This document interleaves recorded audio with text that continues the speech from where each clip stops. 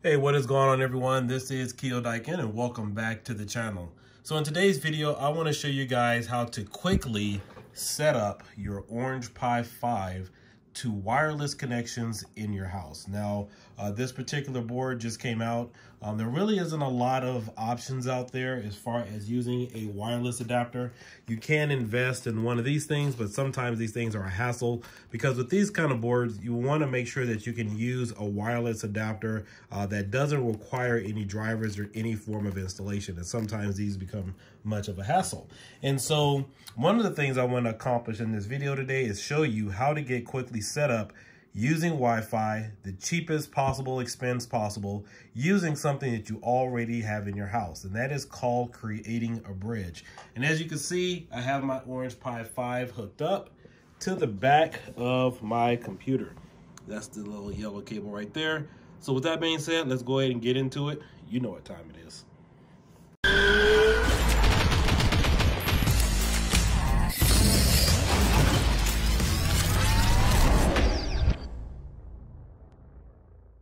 All right, so I've been doing this little trick on the internet since, ooh, man, back in 2007, 2008. In fact, when I first started doing it, uh, companies, telecommunication companies such as like Verizon, AT&T, and whatnot, they used to sell these little MacBooks where you can get internet access off of them. And so back then, if people thought it was impossible to maybe get the internet directly off of those little uh, mobile devices, there were little laptops that had uh, internet access built in. And so it was possible to share the wireless connection from those devices with other network enabled uh, devices. And so um, if you do have a computer or a laptop, we're gonna go over here to the desktop and as you can see, um, I'm still playing around compiling different uh, drivers, uh, control, controller drivers and emulators uh, for the Orange Pi 5. And so the quickest and easiest way to do this is make sure you have your ethernet cable. You wanna go ahead and plug that in. And then of course you wanna plug the other end to the back of your computer. That's really simple. You guys should know how to do that. And I think the easiest way to probably do this is if you have a laptop because that is mobile. But if you do have a desktop computer next to your workstation, this will also work as well. So what you want to do is you want to go into your network connections and you want to click on, obviously mine is already open. You want to find the ethernet port on the back of your computer. Now, some of you guys may only have one, some may have two. I think I have like three or four uh, on the back of mine.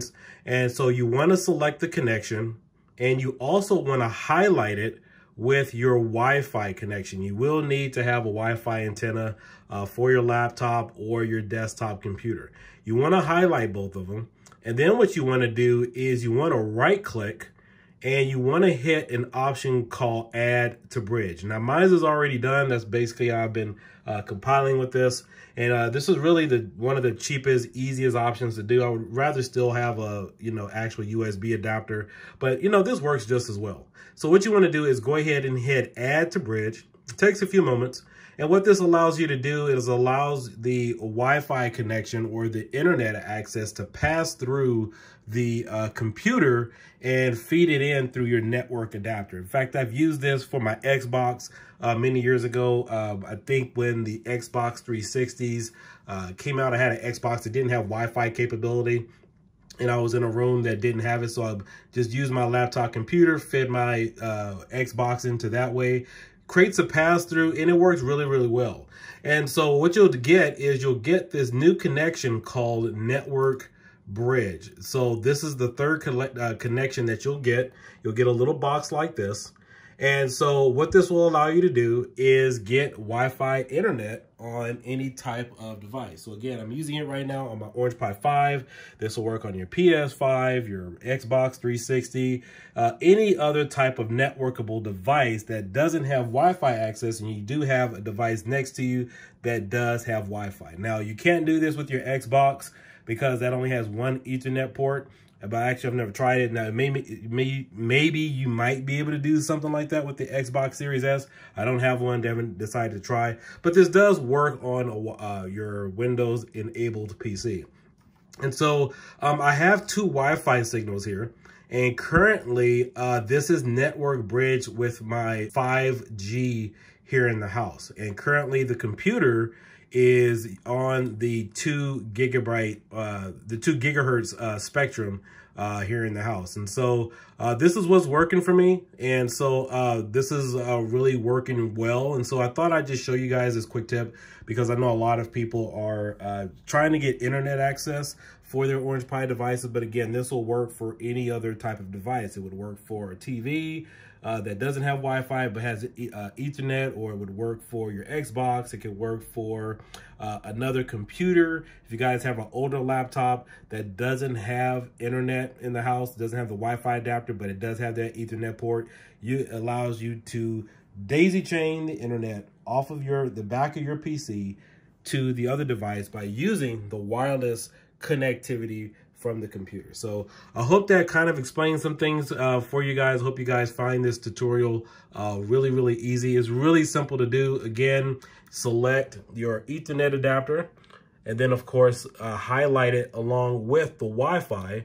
And then of course you want to hit add to bridge. And again, mine already says remove from bridge because I've already done this. And so it will create this new one called network bridge. And I've talked about a little bit about this before here on the channel. Uh, this may also work or should work also for your Arcade1Up units. If you guys uh, have an Arcade1Up unit, uh, let's say in a, in a, in a room, you want to update the system and you have a computer nearby or maybe you have your laptop you could also daisy chain the internet off of your laptop uh, with your Arcade1Up unit and you should get much better internet access compared to their standard wi-fi adapter that is built in hope that helps you guys. I'll catch you guys later. Peace out and have a great day. Bye bye